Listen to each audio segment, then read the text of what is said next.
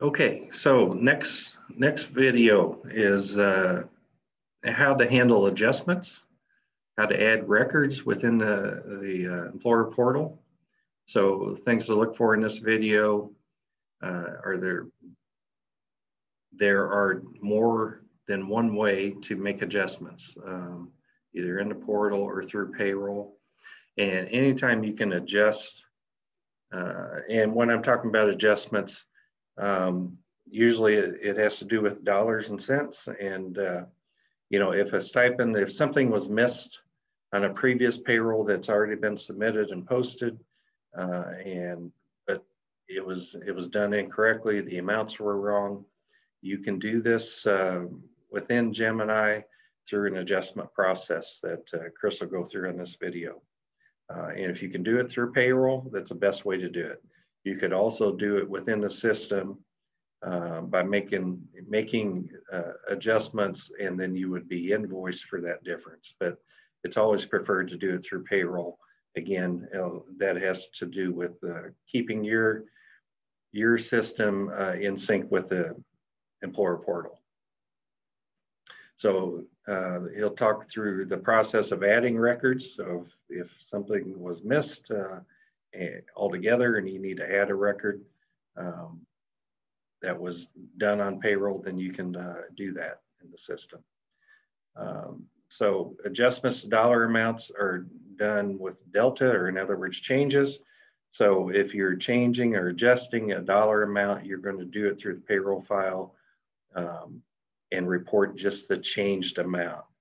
Whereas you're, uh, if you're adjusting days, that were reported, you would uh, report the new or the correct number of days that should have been reported for a pay period. So, and one last thing is employer services staff can also make adjustments um, within Gemini, uh, and, and, the process is a little bit different, but the idea is the same thing that we do with adjustment to earnings currently. And, and uh, I'll mention here just so I don't forget after the video, but the current process for adjustment to earnings, the ATE forms, those, uh, that will not go away anytime soon because anything that has to be adjusted prior to Gemini go live will still be done with those adjustment to earnings um, in that same process that we use now. If adjustment is needed for anything post go live with Gemini, then it's, uh, it's going to be done uh, in the way that this video will explain to you.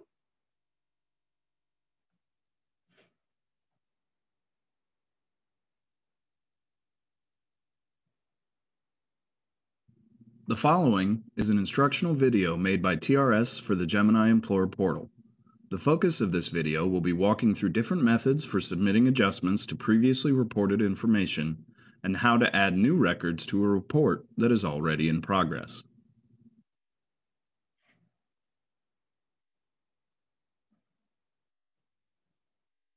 Often, it will be necessary for employers to submit adjustments to information they have already reported. Employer submitted adjustments can be done through one of two different ways or a combination of both. The first option we will refer to as submitting an adjustment through payroll. This applies to employers reporting to TRS via file upload. Depending on your payroll provider, you should be able to create an adjustment through your payroll software, which will then create an adjustment record to be added to your next report or file. This record will be recognized as an adjustment because it will have the same combination of pay period, payment reason, and person as an already posted record from your employer. On an adjustment record, the five per pay period dollar amount fields, including earnings, contributions, and THIS contributions, should be reported as the desired difference from the original reported record. For example, if a member's earnings were originally reported as $2,000 but should have been reported as $1,500, then the adjustment record would have negative $500 in the earnings field. Thus, when the original record and the adjustment record are composited together, we get the correct total of $1,500. The second method for adding an adjustment is detailed in the next section of this video.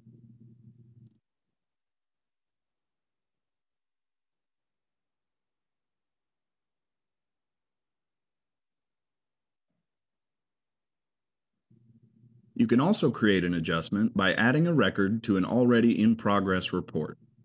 You can also add records as needed if it didn't make it into your file for whatever reason, if it's not an adjustment to something already reported, but just something that should have been reported previously and was missed, or if you report via data entry and you need to add a new employee.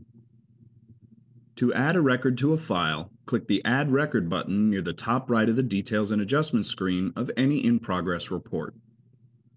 On the Add Record screen, first enter the Social Security number of the member you want to add a record for and click Search. If TRS does not have a record of that member currently working at your employer, you will receive a message to that effect.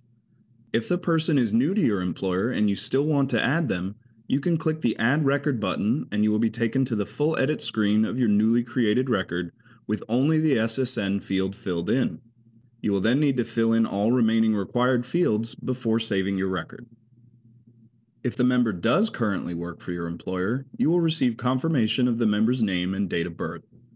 If you want, you can click the Add Record button now to create a record for that member with most of their information already filled in.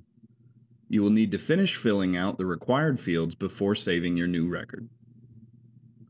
You can also use the filter controls to return all records from your employer for that member that fall within the dates provided. You can select a record from the table and using the Actions dropdown to the left, you can either copy the record, which will create a new record using the old one as a template. For instance, if you needed to report earnings for a different payment reason to what was originally reported because it was missed when it should have been reported with the original report, you can also select the Edit option, which will create an adjustment record for the selected older record. You can then correct any necessary information before clicking Save to complete the creation of your adjustment. Keep in mind that to be an adjustment, a record needs to be for the same person, payment reason, and pay period as an already posted record. If previously posted earnings were reported for the wrong pay period or payment reason, you will need to adjust the original record to zero earnings and days paid, then submit a new record with the correct payment reason and or pay period.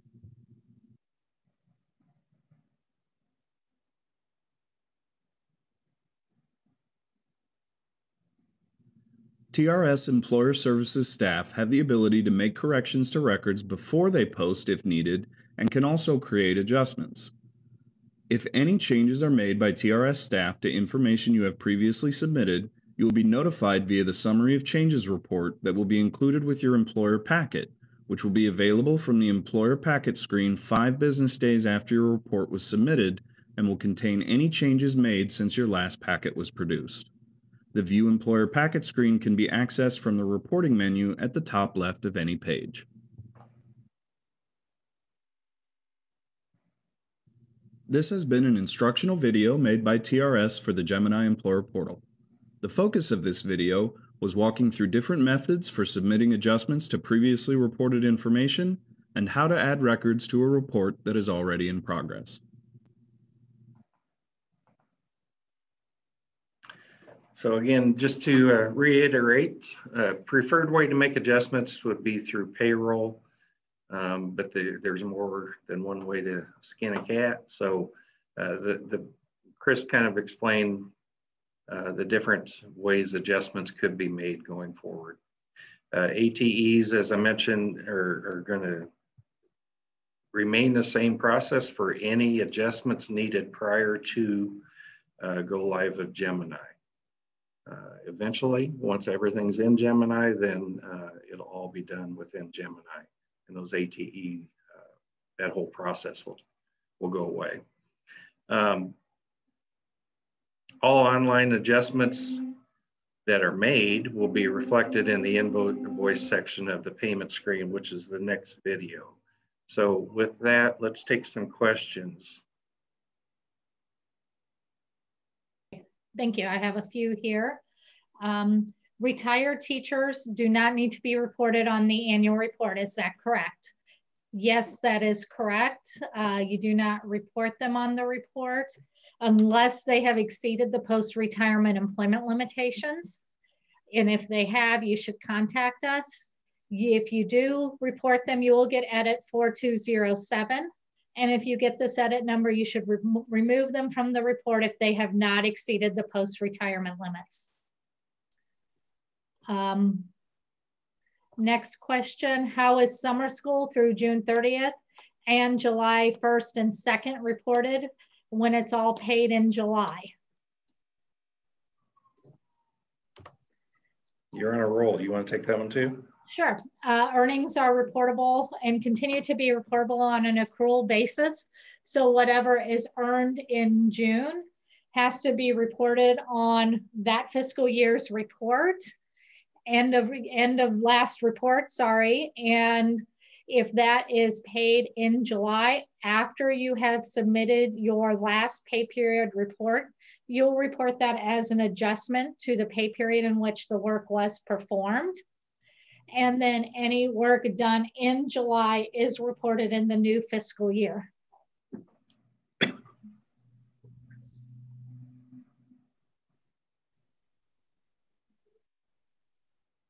Anything else?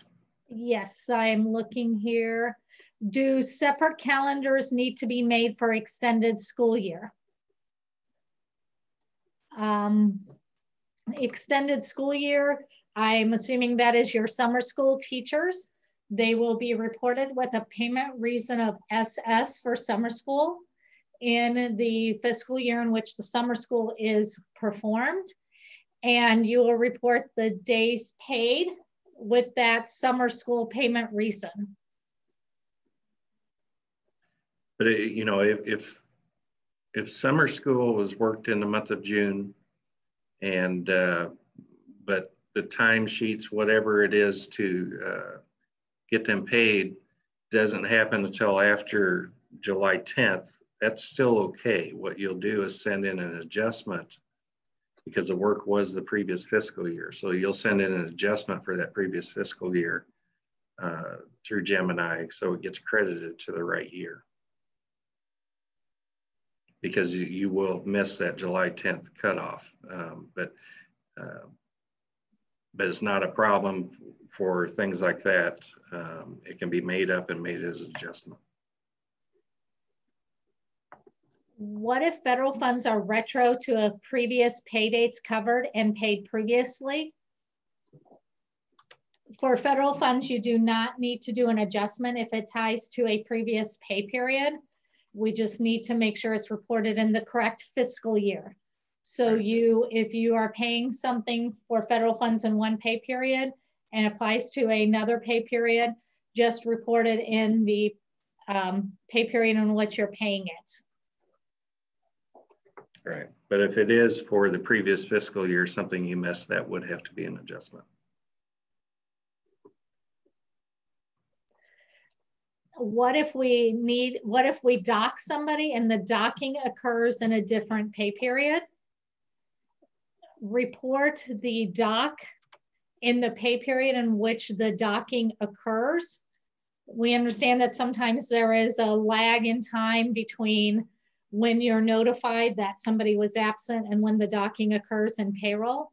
So report that reduction as a day paid and as you'll report, reduce your days paid and reduce your base salary earnings when the docking occurs and report also at that as a dock day. Yeah, that, that, um, we recognize that can be a challenge going forward. So whoever had that question or has those questions, you know, as we get in, uh, as we move forward, uh, those are the kind of questions you may need to uh, walk through with uh, one of the employer services staff to make sure it's reported correctly.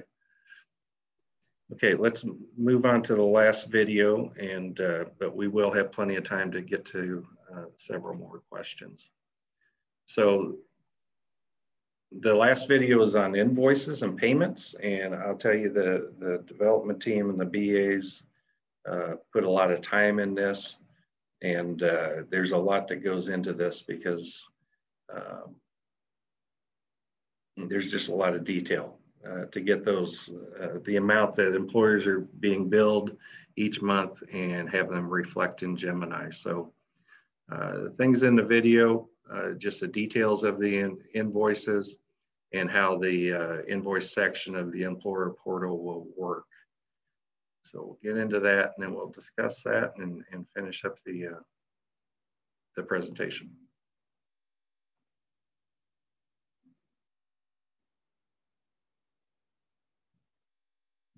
The following is an instructional video made by TRS for the Gemini Employer Portal.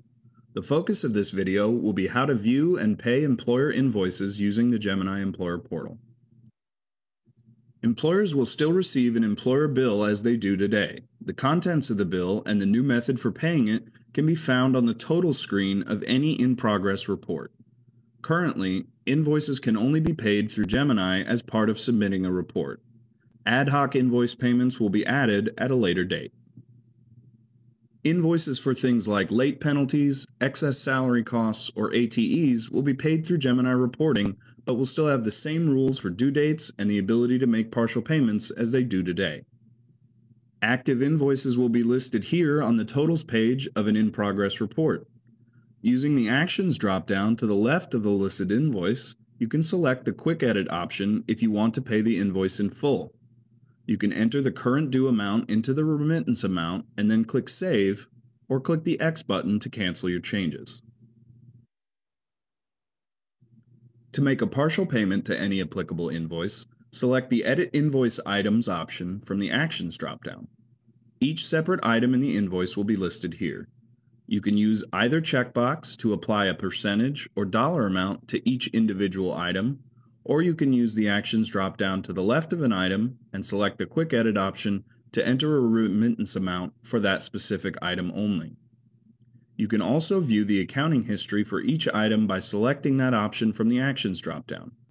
Once you have made any necessary changes, click Save to be returned to the total screen.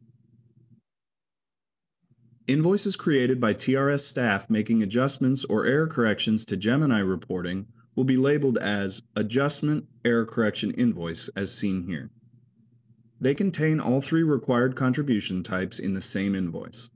Select the View Invoice Items option from the Actions dropdown. The following screen will list the three contribution amounts separately and each one can be drilled into further by using the View option from the Actions dropdown to show each individual item or member that makes up the invoice, similar to the retirement cost invoice we looked at earlier. After you have added all desired remittance amounts to your invoices, you can click Save and proceed to payment. From the payment screen, you will submit payment for both your selected invoices and the regular contributions within the report. This has been an instructional video made by TRS for the Gemini Employer Portal. The focus of this video was how to view and pay employer invoices using the Gemini Employer Portal. Okay, so invoices and payments. Uh, some things to keep in mind. The bills that uh, are produced on the 25th of each, each, month now will continue to be produced uh, and you'll still be able to access them through the employer web access. But anything that shows up on those bills will now be on the invoice section of the uh, payment screen that, that was just demoed. And, and at that point, then you can go in and, and if the, uh, uh, you know, the rules are that you have a certain amount of time to pay them, or you can pay just a portion of them, uh, you have that flexibility within the portal to uh, pick and choose how you pay. Uh, other things like the 9% and the, this fund and, and any adjustments to earnings or anything like that, uh, those will have to be paid you know, with this uh, payment submission on, on the report you're working on. Uh, but the others you can pick and choose and, and uh, drill down to the details if you uh, don't want to pay the full amount. Um, payments are going to be made through employer portal. So no longer will you go to the, the third party um, through the web access to make your payments. Um, any payments post go live with Gemini should be made through the employer portal. Um, so with that, what sort of questions do we have in the invoices? Okay, we have a few. I have teacher salary contract that go through July 31st. So they will be paid two times in July on the fiscal year contract. This has always been reported on the annual report ending in June. Does it still get reported on this coming up annual report or does it get reported in July? The earnings are still reportable on a accrual basis. So everything earned by the end of June 30th this year belongs on this year's annual report.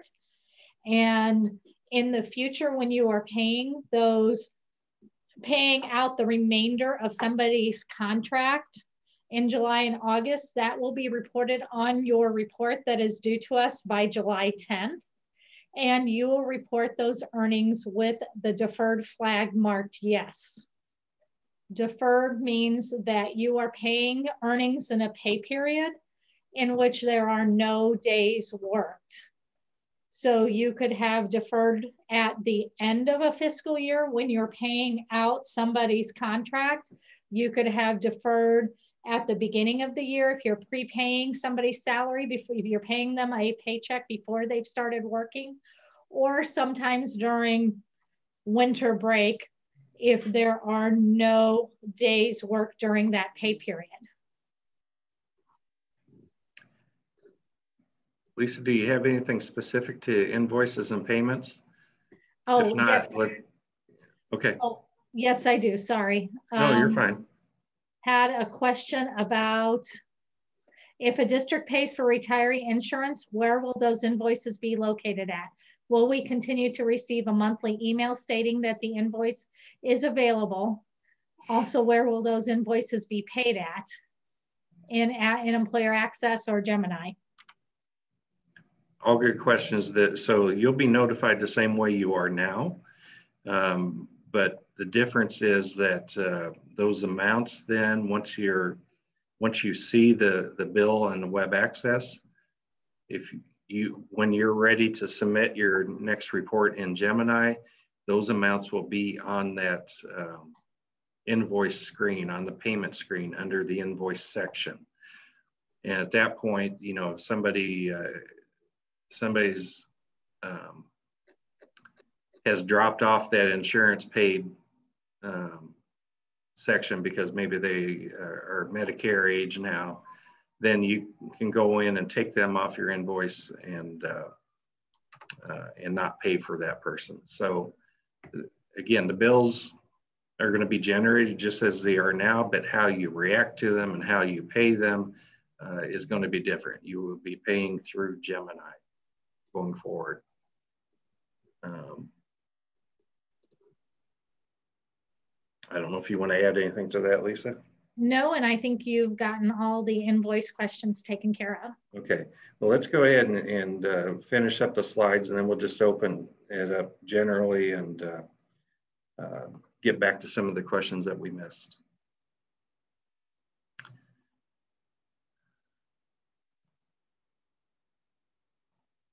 There. So uh, a few more things about the system. Um, I, I mentioned this earlier, but employer portal, there will be some timeouts um, based on inactivity, and that is set at 20 minutes. So if you uh, are working in there and, and you get distracted or, or you're away from your desk for more than 20 minutes, the system will time you out and log you off. And that is all due to security. Um, and there's really no variance there uh, because that is set by uh, certain audit, um, not audit findings, but audit guidelines and security guidelines that uh, our security uh, person has set up. Um, emails, you're, you're going to get emails through the registration process. Every time you sign on, the, the multi-factor authentication process, uh, you will get emails with those security codes. And those will come from this address that's on the screen, the TRS Gemini Messenger at trsil.org. So that's an address you probably want to take away from this training, go to your IT people and make sure that address is uh, whitelisted so that uh, when those emails are sent from the system, they're not they're not flagged as spam or, or they're not quarantined, they're allowed to go through. It should be a trusted source. There's really two browsers that are being supported with the employer portal, and that is Chrome and Microsoft Edge. So if you're using uh, uh, Safari or Firefox, something like that, you can probably still access the system, but the screens may be uh, quite wonky and, and you may not be able to actually do some of the functions correctly. So uh, urge you to use Chrome or Microsoft Edge when you're working in the portal. Um, the URL that is uh, going to be used for the employer portal is uh, on the screen. It's just employer portal at trsil.org, but it is secure, so you will need that HTTPS. Um, when you get the invite emails, I mean, it's going to take you right to uh, uh, the site and you go through that process. But if you're going to bookmark it, this is the bookmark, this is the URL that you would want to bookmark going forward. Uh, and we'll, we'll include this in, in other communications as we get closer. So as we go live um, with anything that's this big and any time you have, you know, uh, nearly a thousand employers or stakeholders that are using the system, um, there could be issues that you run into, uh, system issues, uh, bugs or, or other roadblocks that you might come across. So what we want you to do if you run into something like that is email uh, the employer services mailbox, which is just employers at trsil.org. And that is monitored uh, throughout the day, every day. And we will uh, hook up with you once we see what the issue is. But uh, if you're reporting some sort of issue, be sure to include as much detail as you can. You know, the, the screen that you're having problems with, the steps you took to get to that point, and uh, what you were trying to, to do. If you have any screenshots, if, if there's error messages that you're getting, uh, those error messages, if you can take screenshots, are always helpful. So, um, so again, anytime a new system is implemented, um, you know that there, there are going to be problems. Uh, but we want to streamline the resolution to those issues as much as possible. And this is the, the way we want you to do it. So if we determine that it is a true bug or something that really needs to be a, a quick fix or a hot fix, as they say, it needs to be turned around quickly, we uh, will open an issue with IT and, and they will respond accordingly. Um, some, some things about the current employer web access and, and uh, there were some questions early on about this. So we just want you to know that employer web access is not going away anytime soon.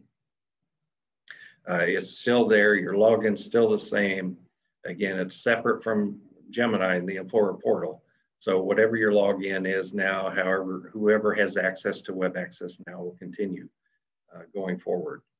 But uh, obviously the big thing that's out there is the FY 2021 annual report. Uh, that process or that report was turned on for employers uh, as of June 1st. And we already have a few or a handful of annual reports submitted to us for this current year. But uh, you have until April 15th, just like every previous year, to get that annual report data to us uh, so that uh, the employer services team can, can uh, audit that report and get it to uh, a point where it can be po posted. So nothing changes on the annual report this year, still needs to be done. And we do understand, believe me, the, the challenge there with uh, learning Gemini as well as completing the annual report. So, uh, um, and we'll talk about the, the call center uh, on the next slide uh, that we've set up to help with, uh, um, help you through the process. But any supplementary reports, sick leave certifications, uh, that whole process is not changing either. Um, our legacy system is still the record of system as far as paying claims. So when somebody terminates, it applies for um, retirement benefit, disability benefit, anything else, uh, anytime a supplementary report is, is needed, that process will stay the same. Uh, you can view your TRS bills. Like I said, those are still going to be created. You can view them on the web access. The employee lookup that's out there is still out there. Uh, you can get there, uh, look up what tier somebody's in, um, and a few other things. You can view the prior annual reports and supplementary reports uh, that you always have, and also that secure document upload um, if you need to get some documents to us because one of the uh, employer services staff is asked you uh, for a document to verify some data. Um, that document upload is still out there and will still be used anytime you need to get a document to us. There's going to be, or there is right now, a new query, uh, a new report available to you um, that is going to be important when you first start reporting in Gemini, because one of the fields that we asked for is an employer employee TRS employment begin date for each employee. Um, and we know that this is not something you necessarily have in your system. So we are uh, providing you a report of your uh, employees with the, the dates that we're, we are expecting when you report in Gemini. And excuse me, a bulletin went out yesterday, I believe, on this topic, and we've gotten a lot of questions on it already. Um, and I, I, suspect we'll have even more questions, but um, the, the employer bulletin talks about how to use this report. Basically, it's a guide for you. Um, if you do have not captured TRS employment begin date, and what that is, is the first time the employee at your employer uh, first started working in a TRS covered position. Um, that is different than their hire date in almost every case. So we're not looking for a hire date because they could have, you know, a lot of teachers are hired in May, but they don't start teaching until September. So you wouldn't report them to TRS until September um, when they actually start working. And that's the date we're looking for, not the previous year's date or it could be that they were hired and they were IMRF for the first three years and then, then moved to a, a TRS covered position. We want that TRS covered position when that happened. Uh, and you may have other staff who worked for you for a period of time. They left, worked for another district, and now they've come back. We want that new date.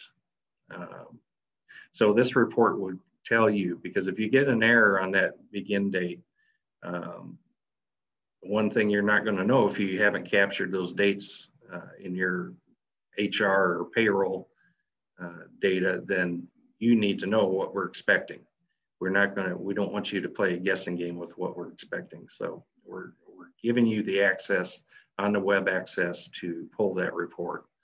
Um, and it's in a CSV uh, file, so it can be used like an Excel file. And, and uh, you can work with your payroll vendor to, to look at those dates. But we want you to look at the dates on that report. And if you disagree with the dates or don't understand how we came up with a date, uh, give us a call or send us an email. We can work through that. Uh, one thing, one last thing on this, and then we'll move off of this new report. But when you see the dates uh, in almost every case, we will be uh, we will display July 1st of whatever fiscal year you first reported this person.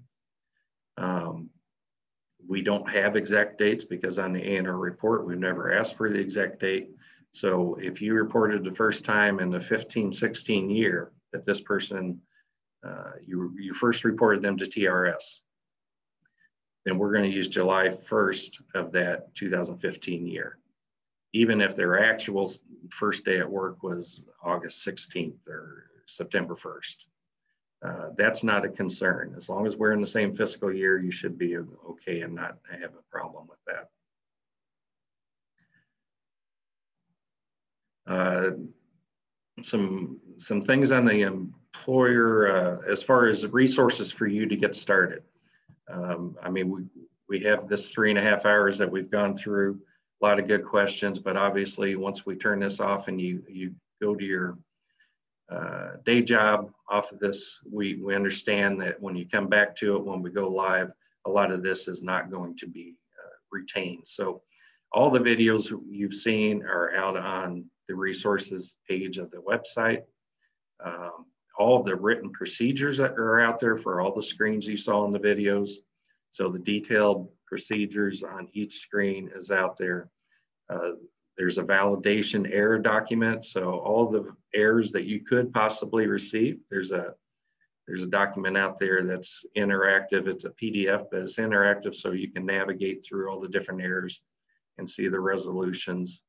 Um, and nothing in that document though is not also in the system. So if you get the error in the employer portal, all the resolutions and everything that's in this document is right on your screen. And then the, the file layouts that uh, uh, show all the TRS requirements for the file uh, is out there on that same page. Uh, we are also putting a uh, reference guide, uh, what we call a quick reference guide, and it has some, it will have some checklist type things of things that you need to do as soon as we go live in year end for the first time. we've had requests for uh, you know, give me a checklist just to make sure I don't miss anything. And, and this quick reference guide that we're going to put out there uh, is going to have all that for you. The other thing we've done is set up a Gemini call center. Uh, the phone number is the exact same phone number you've used for employer services, but uh, we've added a fourth option to the menu when you call in. So as you listen through uh, the menu options, option four will give you the option to talk to somebody uh, in this call center who is specifically there to help you navigate Gemini, uh, answer some uh, basic questions, sometimes not so basic questions about uh, how to how to complete screens, what are the screens for, and that sort of thing. Uh, there are going to be some questions, some questions that we've gotten today that the Gemini call center will not be able to answer uh, that are more specific to how do we report uh, scenario one, two, three, or ABC. Um, but if the call center cannot answer the question, they will um, warm transfer you to one of the auditors who can walk you through the correct answers. Uh, but the goal is that this Gemini call center will answer as many questions as it can, as they can. And if they don't have the answer um, and nobody else is available, they will be calling you back with the uh, with a response uh, just as quickly as they can. So that's an added feature I hope is helpful to everybody.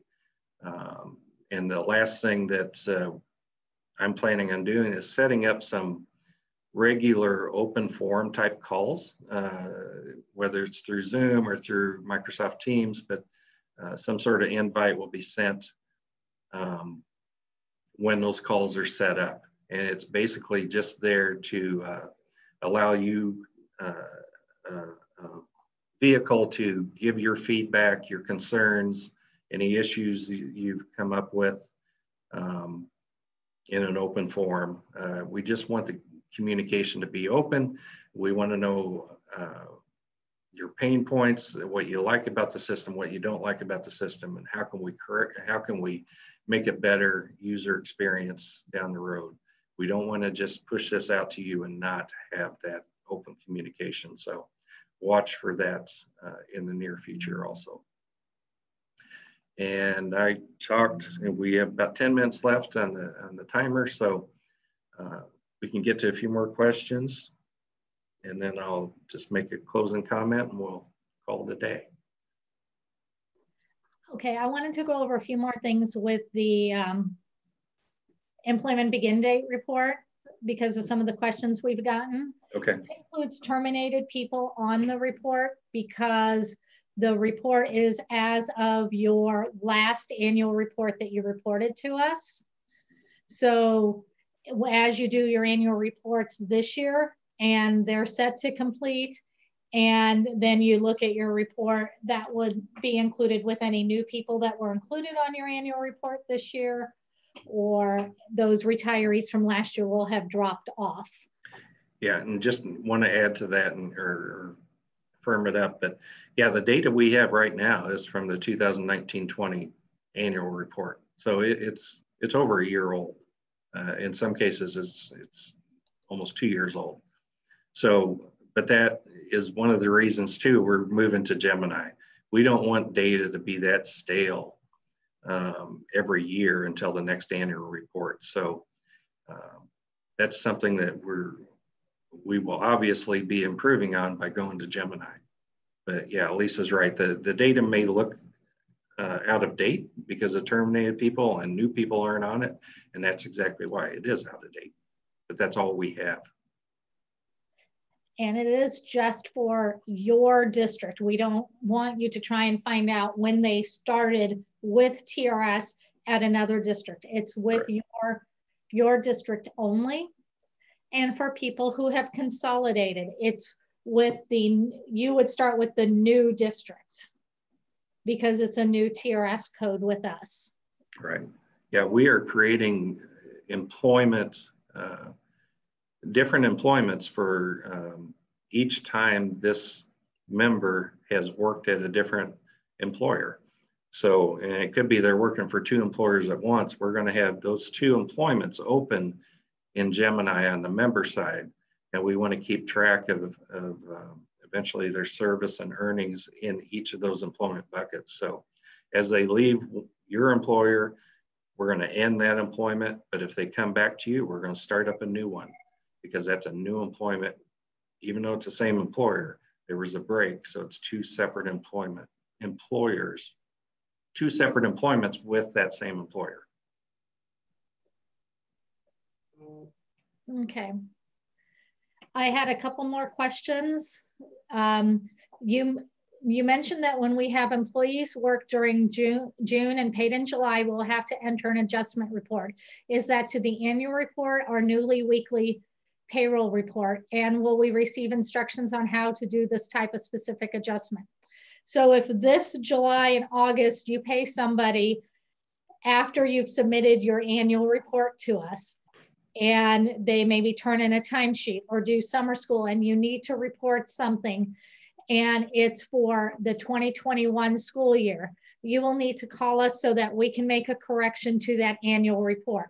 Once you have more than one year under Gemini, you will be able to do that as an adjustment to the prior pay period or to the pay period in which the work was done. Yeah, and uh, what I was referring to when I uh, was talking about that was, yeah, how it will be done in Gemini going forward. But those, uh, you know, if you go to the the resources webs or resources page out there, um, all of the written procedures are out there, and there is one I believe specifically on adjustments, or it may be included with something else, but those procedures are out there.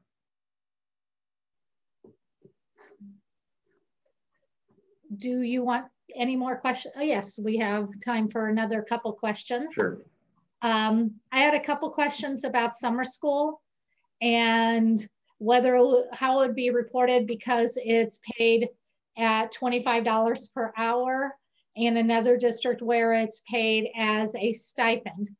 If regardless of how it's paid, if it is for summer school instruction, summer school teaching that requires licensure, it would be reported as payment reason of SS, and you would count each day that the teacher works summer school and report that as a day paid. And like we said, it's reportable in the year in which the work is done. So any June summer school is reported in one fiscal year, July and August fiscal summer school is reported in the next next fiscal year. One more, Lisa. Okay. I'm looking here for one more, sorry. Give me a sec. What is reported on an employee leave balance when employees balances in days? I'm assuming you're referring, that question's referring to sick leave days and sick leave days are reported in days. The only thing that is not reported in days are retirees' hours. Retirees are only people reported with hours worked. Everybody else is reported, whether it's days paid, dock days, sick and personal leave days, are reported in days. Okay. Yeah, I know there's a lot more, a lot more questions out there that uh, we did not get to, but again, we are gonna, we're capturing the whole chat, so we will have those. Um, I know Lisa has uh, already sent some on to uh, the, the, staff to return a call and see if they can uh, clarify some things uh, if you asked a specific question. Um, but with that, I want to thank everybody for being part of this uh, session. Um, again, we'll have another one Monday, another one next Wednesday, and uh, it'll be the same presentation, but feel free to, uh, if you want some clarification or just want to see it again, um, you're welcome to join those also. Um, I also want to make sure that you all know that uh, we understand the stress of a, uh, a transition like this. So there's been a little bit of stress on our end too, as you can imagine, but uh, we know that reporting to TRS is probably not your only job out there. So we are aware of that, empathetic to that, and we want to work through this with you. Um, nothing is ever seamless. I always hate it when I hear, "Oh, we're gonna we're gonna push this or, or do this, and it'll be seamless." Uh, I never buy that, so I'm not going to try to uh, paint this as a, a, seamless process. There will be some pain points. There will be some uh, angst and uh, some hiccups along the way, I'm sure, but uh, just know that that the staff here in employer services are, are, a great bunch of people and they are willing to help as much as possible. And the call center is there to take your calls, uh, good, bad, or ugly, and we'll work with you as much as possible. Whether it's just payroll schedules or whether it's the regular informational screens or, or the working through the errors. Um, and also we have um, relationships with just about every vendor that uh, you could think of out there um, and are have been in communications with all of them and still are in meetings with them uh, as needed so that they can tweak and, and refine their their applications. So uh, again thank you for all for coming. I'll let you get back to your day job have some lunch and uh, if you need anything let us know